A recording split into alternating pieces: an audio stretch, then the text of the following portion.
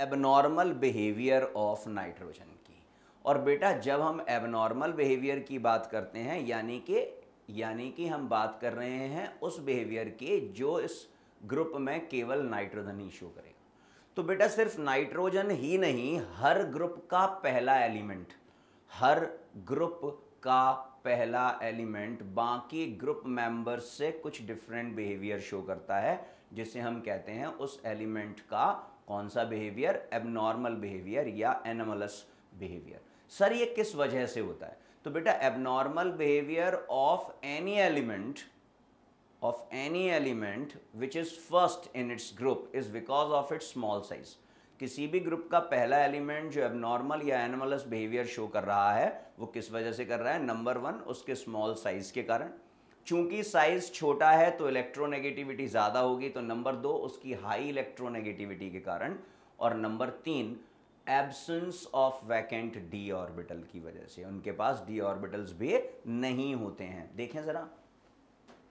Nitrogen is known to differ from other members of the family because of the following facts number one, because of its small size. Number two because of its high electronegativity number three non availability of d orbital in the valence yes क्योंकि second period का element है. ना its high ionization energy इसके बारे में मैंने आपसे चर्चा भी की थी. वो एलिमेंट्स जिनके साइज़ छोटे होते हैं, उनके वैलेंशियल के इलेक्ट्रॉन्स का फोर्स ऑफ़ अट्रैक्शन न्यूक्लियस से ज़्यादा होता है. और अगर वैलेंस शेल का, इलेक्ट्रॉन का फोर्स ऑफ़ अट्रैक्शन न्यूक्लियस से ज़्यादा है तो निश्चित रूप से मुझे उस वैलेंस शेल से इलेक्ट्रॉन को रिमूव करने के लिए ज़्यादा एनर्जी देनी पड़ेगी। That is why ionisation energy is high its capacity to form p pi p pi multiple bonds ये बात भी मैंने आपको अभी थोड़ी देर पहले जब हम फ़र्स्ट स्लाइड इसका डिस्कस कर रहे थे तो बताया था कि नाइट्रोजन और नाइट्रोजन के बीच में क्या होता है? ट्रिपल बॉन्ड जबकि फॉस्फोरस, आर्सेनिक, एंटीमनी और बिस्मथ जो है वो टेट्राएटॉमिक फॉर्म में पाए जाते हैं, जिनमें होता है सिंगल बॉन्ड। ये पाई बॉन्ड का फॉर्मेशन नहीं करते हैं विद इट्स लेकिन नाइट्रोजन अपने साथ पाई बॉन्ड का फॉर्मेशन करता है। आपको बताया था N triple bond N nitrogen triple bond nitrogen. तो ये जो बॉन्ड्स हैं, ये हैं पाई बॉन्ड्स और कौन से पाई बॉन्ड्स हैं? P pi p pi pi bonds the main point of difference are भाई, किस वजह से डिफरेंस शो कर रहा है, उसकी बात तो मैंने कर ली। अपने छोटे साइज़ की वजह से, अपनी ज़्यादा इलेक्ट्रोनेगेटिविटी की वजह से, अपनी ज़्यादा आयनाइजेशन एनर्जी की वजह से एब्सेंस ऑफ़ वैकेंट ऑर्बिटल की वजह से और मल्टीपल बॉन्ड फॉर्मेशन की वजह से। लेकिन क्या डिफरेंस शो करता है? अब उसके बारे में चर्चा करते हैं। Main point of difference are number one nitrogen is a gas while other members are solid क्योंकि हमें पता है कि नाइट्रोजन N2 के फॉर्म में एग्जिस्ट करता है बाकी सभी P4, AS4, SB4 के फॉर्म में एग्जिस्ट करते हैं। तो जितना ज़्यादा मॉलिक्यूलर मास होता है बेटे फोर्स ऑफ़ अट्रैक्शन उतना ज़्यादा होता है। और फोर्स ऑफ़ अट्रैक्शन ज़्यादा होता है तो ये गैसियस स्टेट से सॉलिड स्टेट में आ जाते हैं। तो first point of difference is nitrogen is a gas while other members are solid number two nitrogen is diatomic while other elements are tetratomic आपसे भी बात की nitrogen is N two phosphorus is P4, arsenic is AS4. Nitrogen can form five oxides nitrogen पाँच oxides बनाता है बेटा। कौन कौन से पाँच ऑक्साइड्स बनाता है? From oxidation state plus one to oxidation state plus five that is N two O N O N two O three N two O four and N two O five well other elements of this family form two oxides tri and penta लेकिन phosphorus की बात करूँ तो वो tetra oxide का भी formation करता है।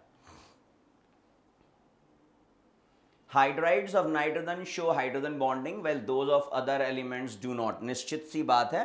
मुझे पता है कि hydrogen bond is form between hydrogen and fluorine hydrogen and oxygen hydrogen and nitrogen hydrogen bond इन्हीं तीन एलिमेंट्स से इन जनरल फॉर्म होता है। तो NH3 जो हाइड्राइड है नाइट्रोजन का, जिसे हम कहते हैं अमोनिया तो ammonia will show the property of hydrogen bond while all other hydrides like PH3 phosphine, ASH3 arsine, SBH3 stibine BIH3 bismuthine ये हाइड्रोजन बॉन्ड का फॉर्मेशन नहीं करते हैं। Nitrogen does not show pentacovalency because of the absence of d orbital while all other element show pentacovalency nitrogen अपने surrounding ना maximum चार ही bond बना सकता है बेटा। अपने सराउंडिंग कोवेलेंसी का मतलब होता है कि कितने कितने कोवलेंट बॉन्ड वो मैक्सिमम फॉर्म कर सकता है। तो nitrogen can form maximum up to four covalent bond well all other element of this family can form five maximum covalent bond around themself अब ऐसा क्यों हो रहा है? Because nitrogen does not have vacant d orbital so that it can not expand it octet वो अपने octet को expand नहीं कर सकता है। Nitrogen does not form complex because of the absence of d orbital while other elements show the complex formation निश्चित सी बात है कॉम्प्लेक्स फॉर्मेशन के लिए बेटा कंडीशन होती है कॉम्प्लेक्स फॉर्मेशन की कंडीशन होती है पहली कि एटम का साइज़ छोटा होना चाहिए और उनके पास वैकेंट डी ऑर्बिटल्स होने चाहिए तो नाइट्रोजन का साइज़ तो छोटा है as it belong to period number 2 so it does not have vacant d orbital that is why nitrogen is incapable of the formation of complex nitrogen complex का formation नहीं कर पाता है। बाकी जो दूसरे एलिमेंट्स हैं they can form complex like P C L six minus A S C L six minus The hydride of nitrogen is highly basic in nature, while the hydrides of other elements are slightly basic. इसके बारे में भी मैं आपसे चर्चा कर चुका हूँ। मैंने आपको बताया था कि चूँकि सभी hydrides that is N H three P H three S B H three A S H three और B I H three all these hydride have one lone pair on central atom. और हमें पता है कि जैसे जैसे we are moving top to bottom in a group the size of atom increases.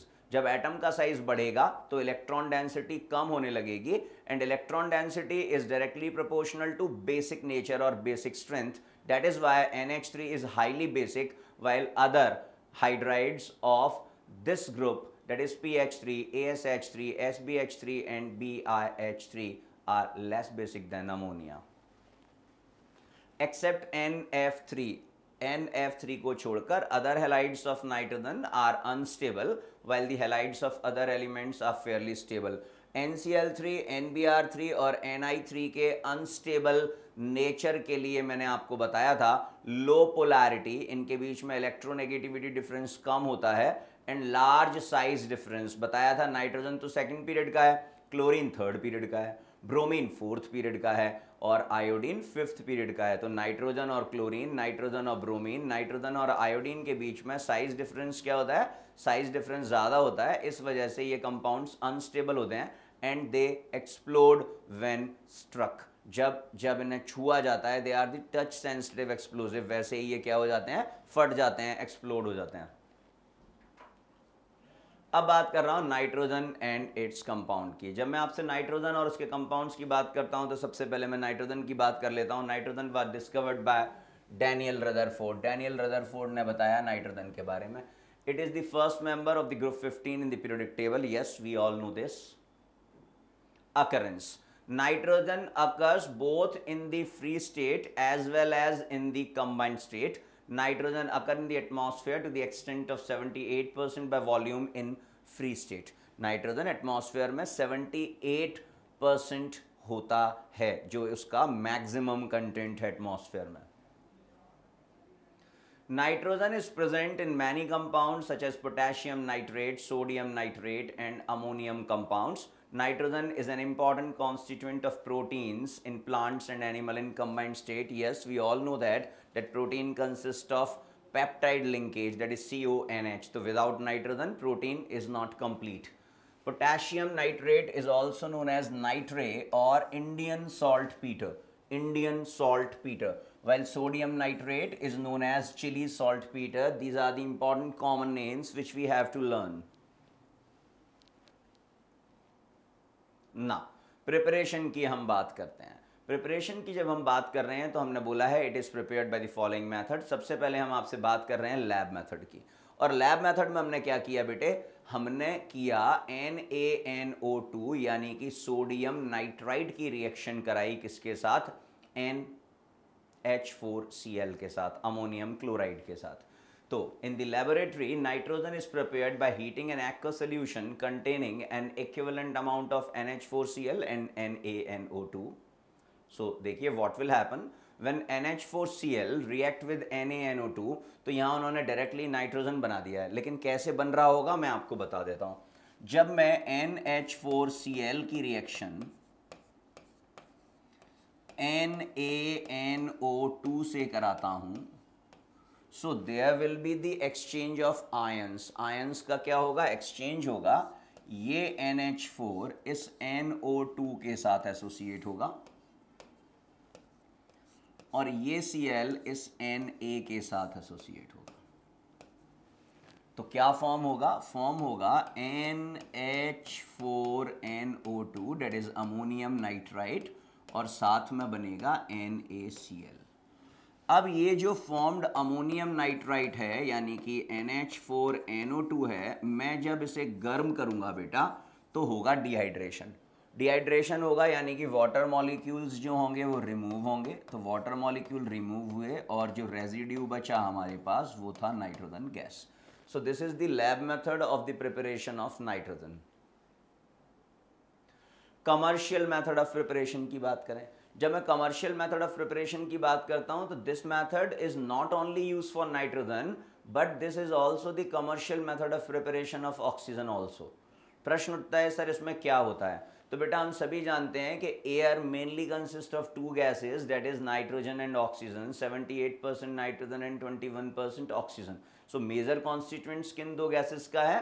दो gases का है कौन सी हैं वो दो गैसेस एक है नाइट्रोजन और दूसरा है ऑक्सीजन तो अब जब मैंने इन गैसेस को कंप्रेस किया मतलब एयर को कंप्रेस किया एयर को कंप्रेस किया तो एयर लिक्विफाई हो गई. मतलब now in air we have liquid nitrogen as well as liquid oxygen The boiling point of liquid nitrogen is minus 196 degrees Celsius while the boiling point of liquid oxygen is minus 186 degrees Celsius.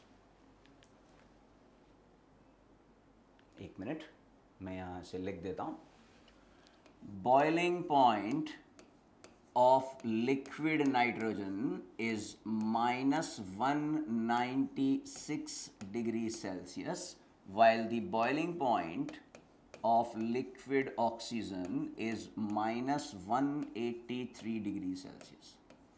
Now, we have two liquid in a mixture, और उन दोनों liquid में difference है उनके boiling point में। हम सभी जानते हैं कि अगर दो लिक्विड्स जिनके बॉइलिंग पॉइंट में डिफरेंस है how can we separate those so we can separate those liquids through fractional distillation जब भी किन्हीं दो लिक्विड्स के बॉइलिंग पॉइंट में डिफरेंस होता है we can separate them through fractional distillation so this is how this method work commercially nitrogen is prepared by the fractional distillation of liquid air as well as oxygen is also prepared by the fractional distillation of liquid air. This is also the commercial method of preparation of oxygen as well. अब आगे बढ़ूं, और method of preparation की बात करूँ अब हम बात करेंगे प्रिपरेशन ऑफ़ प्योर नाइट्रोजन की। हमारे पास उसका एक ही मेथड है और वो मेथड है by heating metal azides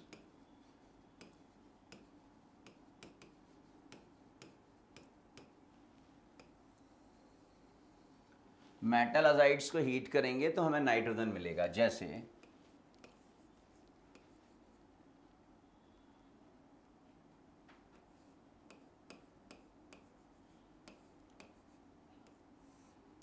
ये मैंने लिया बेटे बैरियम अजाइड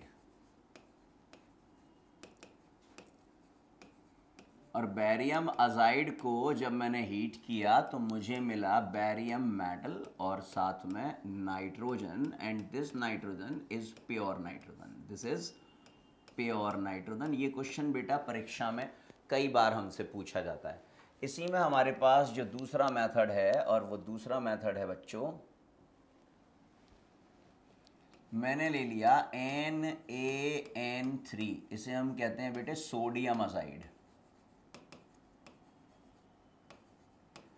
जब हम इस सोडियम अजाइड को हीट करते हैं तो हमें मिलता है सोडियम मेटल और साथ में नाइट्रोजन।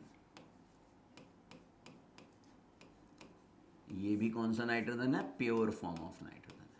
बेटा, हमेशा जो बात आपको याद रखनी है, वो बात ये कि जब भी आप रिएक्शंस को लर्न करेंगे, कभी भी उन्हें बैलेंस्ड फॉर्मेट में लर्न करने की कोशिश मत कीजिएगा, क्योंकि जब भी आप सॉइक्योमेट्रिक कॉफिशेंट के साथ रिएक्शन को लर्न करते हैं तो इस बात की प्रोबेबिलिटी सबसे ज़्यादा होती है कि आप उस रिएक्शन को भूल जाते हैं।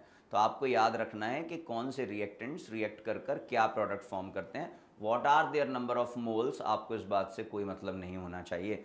We can balance this reaction by hit and trial method if required. लेकिन ऐसी रिक्वायरमेंट आती नहीं है। अब ये जो सोडियम अजाइड है ना बेटे this sodium azide is used in air bags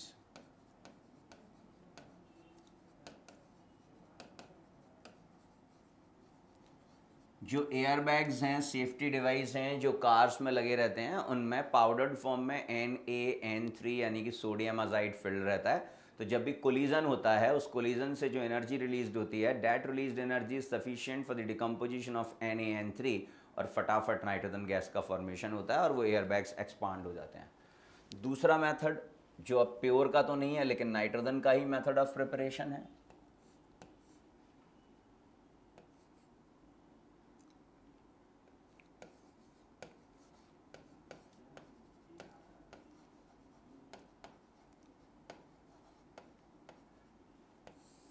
bye producer gas मैं फिर से बोल रहा हूँ this is the only method for the preparation of pure nitrogen केवल यही एक मैथड है जिससे आप प्योर नाइट्रोजन का फॉर्मेशन कर सकते हैं। प्रोड्यूसर गैस से मैं नाइट्रोजन बनाऊँगा, लेकिन वो नाइट्रोजन प्योर नाइट्रोजन नहीं होगा, मैं फिर से बोल रहा हूँ। हमने क्या किया? हमने लिया cupric oxide cupric oxide hot cupric oxide और इससे हमने पास कराया producer gas producer gas is the mixture of carbon monoxide and nitrogen. This is producer gas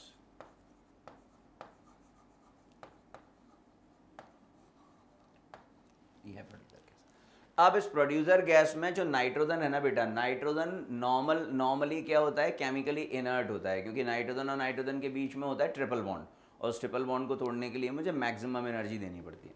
तो यहाँ पर मैं देख रहा हूँ किसको कार्बन मोनोऑक्साइड को carbon monoxide is a reducing agent तो वो क्यूप्रिक ऑक्साइड को रिड्यूस करेगा and itself get oxidise तो क्यूप्रिक ऑक्साइड को रिड्यूस कर कर ये बनाएगा सी यू खुद ऑक्सीडाइज होकर बनाएगा सी ओ टू और नाइट्रोजन मुझे अलग मिल जाएगी.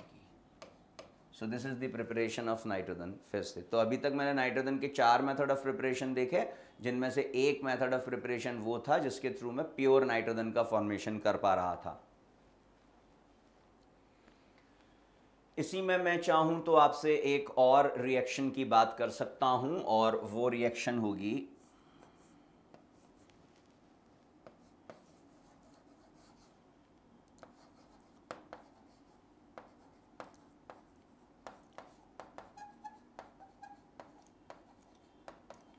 Bye liquor ammonia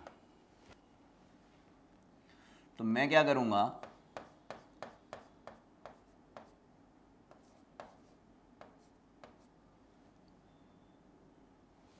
N H four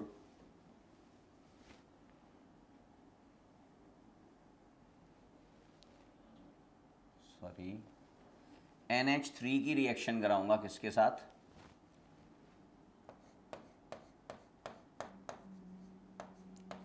halogen के साथ। यहाँ पर एक्स क्लोरीन ब्रोमीन और आयोडीन है। फॉर्म होगा बेटे एन एच फोर एक्स और साथ में nitrogen N H four X और साथ में नाइट्रोजन लेकिन बेटा याद रखिएगा, अगर अगर कॉन्सेंट्रेशन ज़्यादा है हेलोजन का,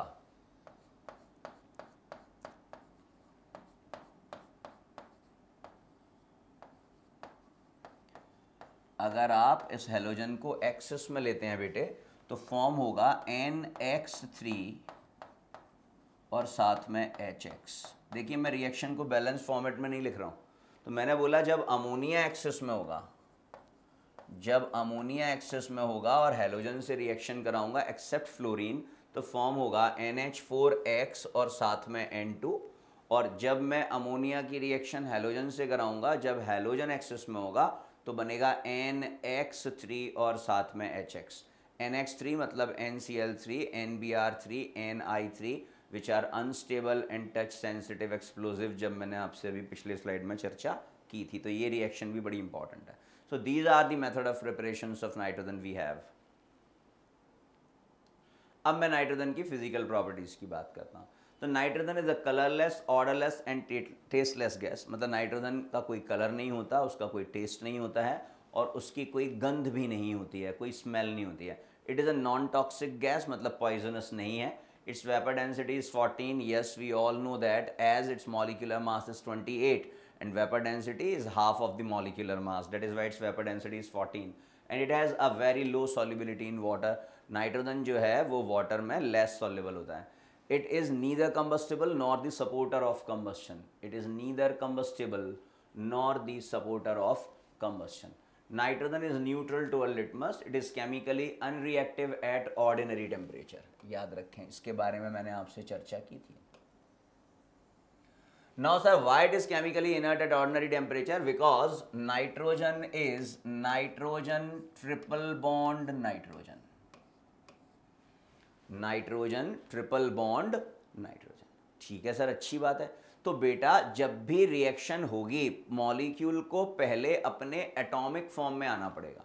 जब भी रिएक्शन होगी मॉलिक्यूल को अपने किसमें आना पड़ेगा? एटॉमिक फॉर्म में मतलब मुझे नाइट्रोजन और नाइट्रोजन के बीच के इस बॉन्ड को क्या करना पड़ेगा? तोड़ना पड़ेगा।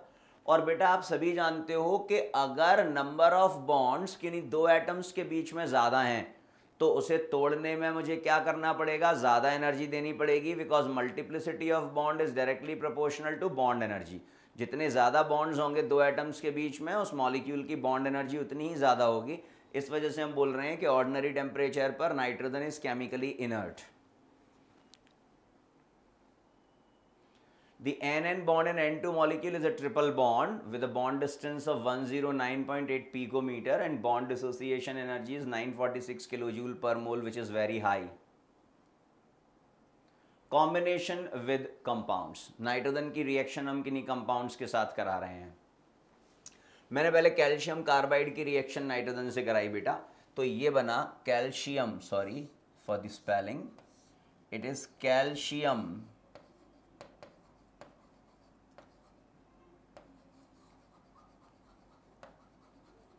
cyanamide. It is calcium cyanamide. Calcium cyanamide is what? CaCN2 और साथ में क्या और मिला कार्बन मिला याद रखिएगा C A C N two plus C इस मिक्सचर को हम कहते हैं nitrolim this mixture is known as nitrolim which is used as a fertilizer.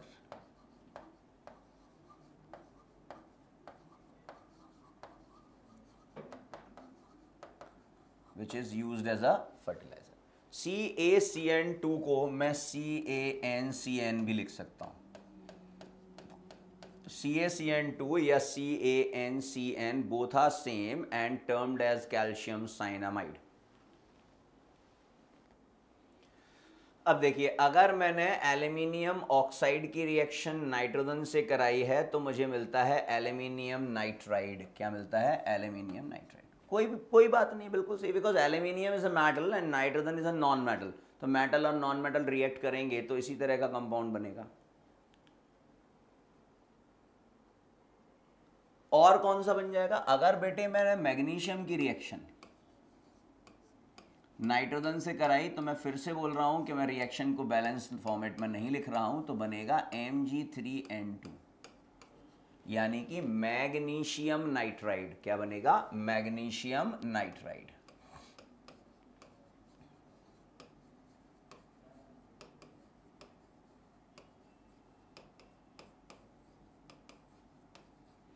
Magnesium nitride. अब both these compounds are hydrolyse on boiling with water to give ammonia मतलब अगर मैं इस एल्यूमिनियम नाइट्राइड और इस मैग्नीशियम नाइट्राइड की reaction water से कराता हूँ, यानी कि इनका हाइड्रोलिसिस कराता हूँ तो मुझे अमोनिया मिलेगा। या मैं कहूँ कि किसी भी नाइट्राइड की रिएक्शन किसी भी नाइट्राइड की रिएक्शन अगर मैं वाटर से कराऊँगा तो it will form it will evolve ammonia जैसे मैंने लिया बेटे यहाँ पर ए एल एन और रिएक्शन करा रहा हूँ मैं किसके साथ? एच ओ एच के साथ। मैकेनिज्म बताऊँगा, आसान है, समझ में आएगा। फिर मैंने लिया M G three N two और रिएक्शन करा रहा हूँ किसके साथ? एच ओ एच के साथ। अब ध्यान से देखना बेटा। आप देख रहे हो कि इस एल में एल्यूमिनियम मेटल है और नाइट्रोजन नॉन मेटल है because nitride means N minus three यहाँ पर भी मैग्नीशियम मेटल है तो चार्ज प्लस टू है नाइट्रोजन नाइट्राइड के फॉर्म में है तो चार्ज माइनस थ्री समझना, यहाँ H प्लस है और ओ OH माइनस है, यहाँ भी H प्लस है और ओ OH माइनस है. तो केवल केवल हमें क्या करना है we will do we have to do the exchange of ions ये एल इस ओ OH के साथ जुड़ेगा और ये एच इस नाइट्रोजन के साथ जुड़ेगा। ये ओ एच इस मैग्नीशियम के साथ जुड़ेगा और ये एच इस नाइट्रोजन के साथ जुड़ेगा। तो बेटा मुझे सिर्फ़ क्या करना है? आयन एक्सचेंज करना है और किस आधार पर करना है? इनके वैलेंसीज के आधार पर करना है। तो एल्यूमिनियम की वैलेंसी कितनी होती है? तीन। तो इससे तीन ओ एच जुड़ जाएँगे।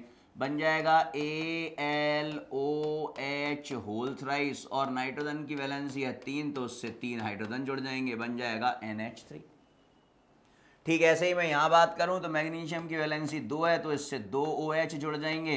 M G O H whole twice और नाइट्रोजन की वैलेंसी तीन है तो इससे तीन हाइड्रोजन जुड़ जाएँगे। एन एच थ्री तो देखिए यहाँ अमोनिया का फॉर्मेशन हो गया है और ये बड़ी इंपॉर्टेंट रिएक्शन है एग्ज़ाम में पूछी जाती है बच्चों। अब देखिए C A C N two मतलब साइनामाइड की रिएक्शन किससे करा रहा हूँ? वाटर से करा रहा हूँ। तो साइनामाइड की रिएक्शन जब मैं वाटर से करा रहा हूँ, बेटा, ये एच टू है तो ये क्या बनाकर देगा मुझे? कैल्शियम कार्बोनेट और साथ में अमोनिया।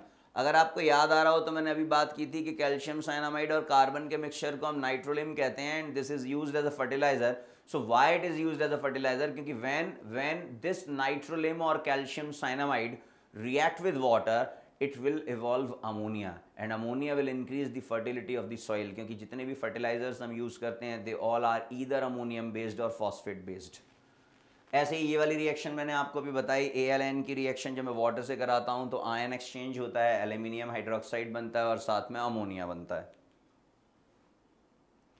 देखिए therefore calcium cyanamide is use as a fertiliser under the name nitrolim यही बात की थी बच्चों? हाँ सर यही तो की थी।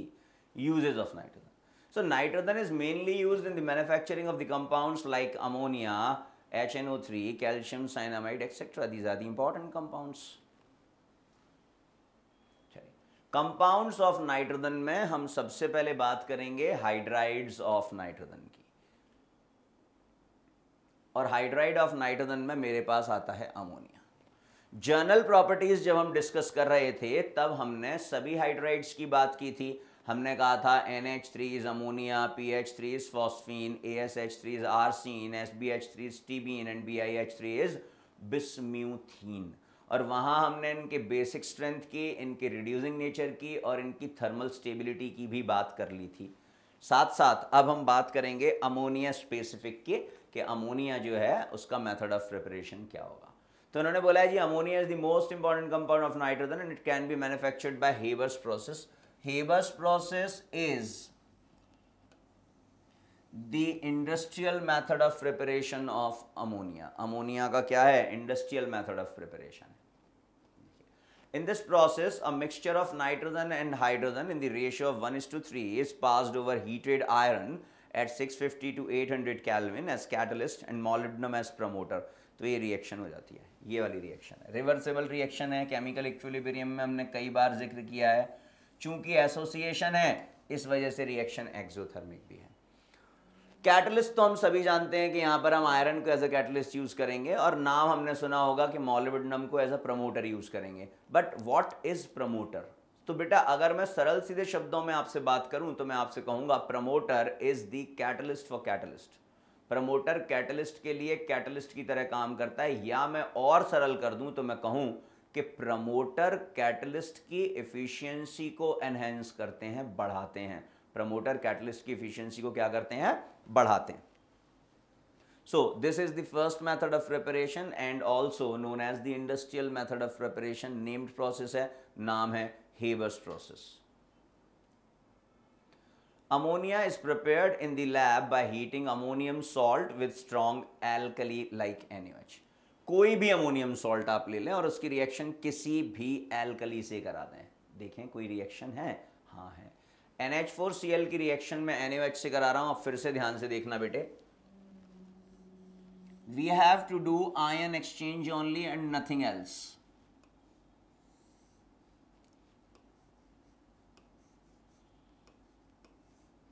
ये देखिए आयन एक्सचेंज किया तो मुझे NaCl मिल गया जो आपको यहाँ दिख रहा है, फिर क्या मिला? NH4OH and NH4OH may be written as NH3 plus H2O. NH4OH को हम कैसा लिखते हैं NH3 और H2O because NH4OH is what? It is the aqueous solution of ammonia. Ammonia को जब मैं वाटर में डिजोल्व करूँगा तो it will form N H four O H तो याद रखिएगा, जिस भी रिएक्शन में अमोनियम हाइड्रोक्साइड बन रहा है it is actually ammonia which is dissolve in water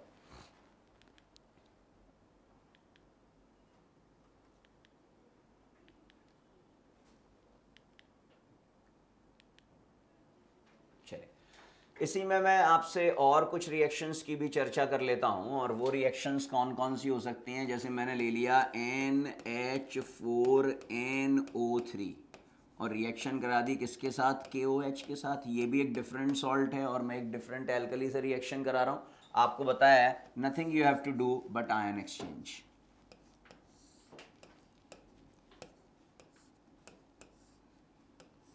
के एन ओ थ्री बनेगा, साथ में बनेगा N H four O H and N H four O H may be return as N H three and H two O तो ये तो हो गया बेटा मेथड ऑफ़ प्रिपरेशन ये जो रिएक्शन हमने लिखी है लैब में अमोनिया का formation this is the general method of preparation of ammonia and is used for the identification of ammonium salt so this method is also used for the identification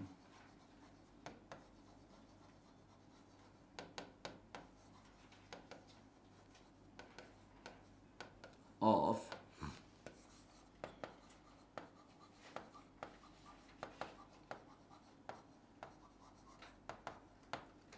ammonium salt ammonium salt के identification में इसका use किया जाता है। अब बेटा मैं आपसे बात करूँगा केमिकल प्रॉपर्टीज़ ऑफ़ अमोनिया की, जो बहुत important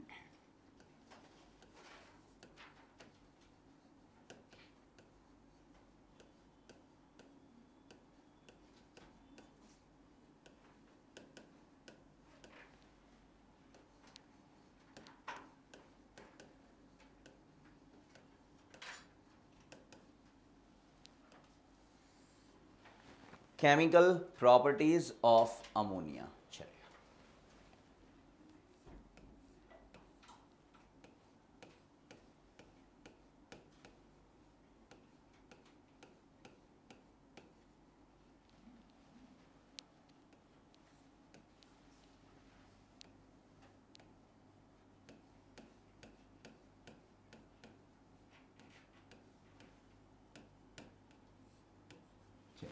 मैंने सबसे पहले ये दो रिएक्शंस लिखी हैं, जिसमें मैं पहली रिएक्शन में अमोनिया की रिएक्शन करा रहा हूँ सोडियम से, और दूसरी रिएक्शन में अमोनिया की रिएक्शन करा रहा हूँ लिथियम से।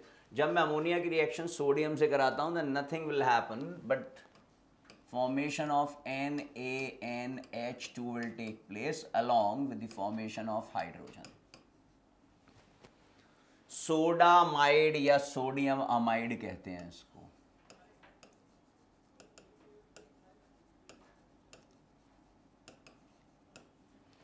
अब दिखने में लिथियम के साथ अमोनिया की रिएक्शन सेम लग रही है, क्योंकि लिथियम भी एल्कली मेटल है और ग्रुप वाले एलिमेंट्स हैं तो इनकी केमिकल प्रॉपर्टीज़ क्या हैं? इनकी केमिकल प्रॉपर्टीज़ हैं सेम लेकिन बेटा lithium is the first member of alkali metal hence it has to show the abnormal behaviour as it is the smallest element तो यहाँ बनता है बेटा L I two N H along with hydrogen ये जो Li2NH है, इसे हम कहते हैं लिथियम इमाइड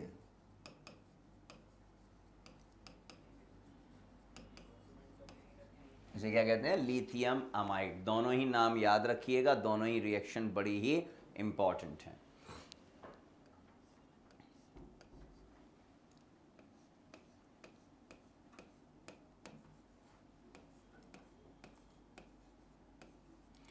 NH3 की रिएक्शन मैं करवा रहा हूँ मेटल ऑक्साइड से। यहाँ CuO की जगह PbO भी हो सकता है। दोनों ही रिएक्शन एक जैसी होंगी।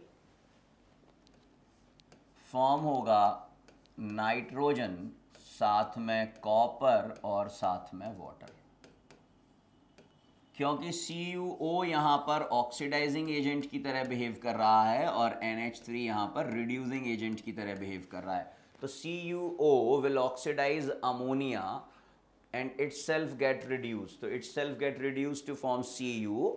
The oxidation state of nitrogen in ammonia is minus 3 and it is 0 in N2. Hence nitrogen we can see here is oxidized to CuO.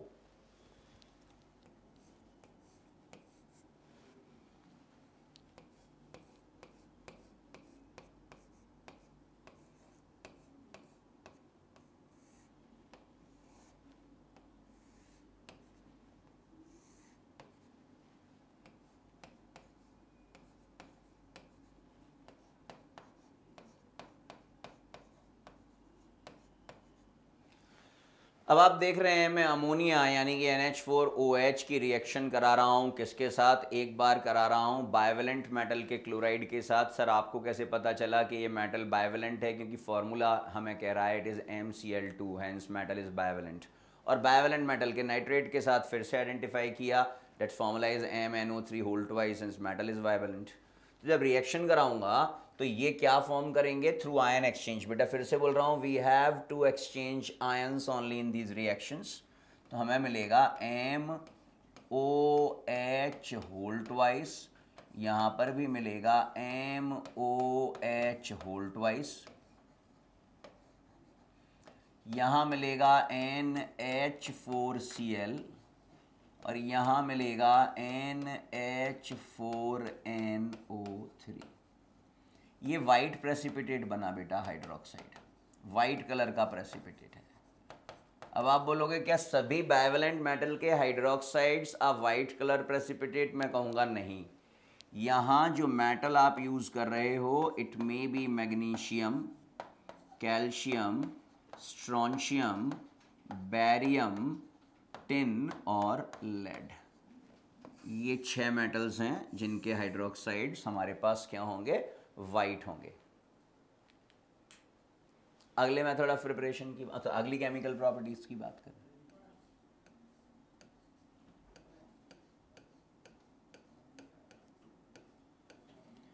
फिर से मैं अमोनिया की रिएक्शन करा रहा हूँ. F E C L two के साथ। F E C L three के साथ। C R C L three के साथ। और C O C L two के साथ। किसकी रिएक्शन हो रही है? अमोनिया की, या aqua solution of ammonia ammonium hydroxide both are same कोई भी डिफरेंस इनमें नहीं होता है। बेटा, फिर से मैं आपसे सिर्फ़ कहूँगा you have to exchange ions only आपको सिर्फ़ आयन एक्सचेंज करने हैं। तो यहाँ पर तो मुझे इन सभी केसेस में N H four C L मिलेगा। पहली रिएक्शन में भी, दूसरी रिएक्शन में भी, तीसरी रिएक्शन में भी, और चौथी रिएक्शन में क्योंकि आयन एक्सचेंज हो रहा है, मैं मेटल क्लोराइड्स के साथ रिएक्शन करा रहा हूँ। आयन एक्सचेंज होगा तो अमोनियम क्लोराइड बन जाएगा। पहली रिएक्शन में सिर्फ़ क्लोरीन को रिप्लेस करेगा कौन? O H F E O H whole F E O H whole thrice uh sorry C R O H whole thrice और C O O H whole thrice whole twice sorry मुझे ये मिलेंगे। अब इन hydroxides के colour हैं, इसीलिए reaction important हो जाती है क्योंकि वो कलर हमसे पूछे जाते हैं। ग्रीन रेड ब्राउन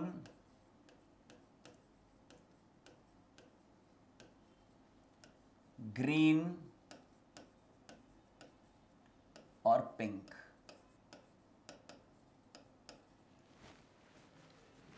ये इनके कलर्स हैं तो ये रिएक्शन भी इंपॉर्टेंट हो गई।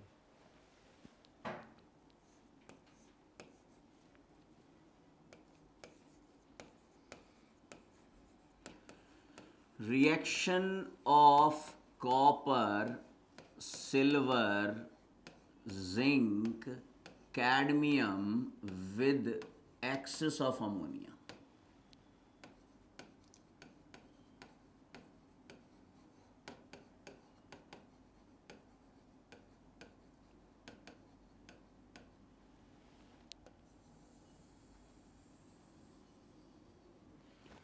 ammonia के लार्ज अमाउंट के साथ मैं रिएक्शन करा रहा हूँ किसकी?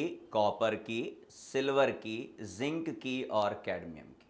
बेटे, ये जो रिएक्शंस मैंने लिखी हैं, ये रिएक्शंस हैं कॉम्प्लेक्स फॉर्मिंग रिएक्शंस यानी कि इन रिएक्शंस में मुझे मिलेगा कॉपर का सिल्वर का जिंक का और कैडमियम का कॉम्प्लेक्स जिन्हें हम कहते हैं कोऑर्डिनेशन कंपाउंड्स ये रिएक्शन के मैकेनिज्म बहुत इंपॉर्टेंट होते हैं। आने वाली क्लास में मैं आपको इनऑर्गेनिक केमिस्ट्री में टाइप ऑफ़ रिएक्शंस डिस्कस करूँगा, जिसके थ्रू आपको मैक्सिमम रिएक्शंस देखकर समझ में आ जाएँगी। आपको उसे लर्न नहीं करना पड़ेगा। ऑलमोस्ट 75 परसेंट रिएक्शंस आपको लर्न नहीं करनी पड़ेंगी। अब ये रिएक्शन जो है, वो कैसे हो रही हैं, इनके बारे में हम देखेंगे और आगे बढ़ेंगे अगली स्लाइड में। Thank you